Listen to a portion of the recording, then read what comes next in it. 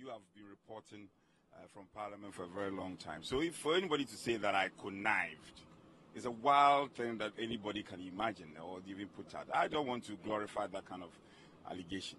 I came here as part of my duties. It's not only these days that or today that I come to work early.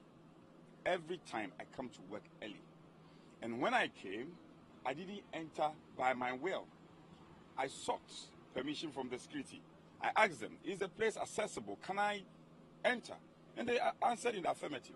So I went in there together with my colleague. We went there just to be sure. It's my duty as a whip to be sure that things are okay. So I got there and what I wanted, I found it. And so I sat down. I sat down. Then they called me and said that they wanted to sweep the place. Willingly, I walked out and came and stood here. What is, what is wrong with this? He should have known. He came to meet me. I was a whip before he became a whip. There are lessons I need to teach him. So he should be humble enough to learn. He just entered a uh, whip job. He should be he should he should be careful making allegations and be humble enough to also learn how whips work. This is how whips operates.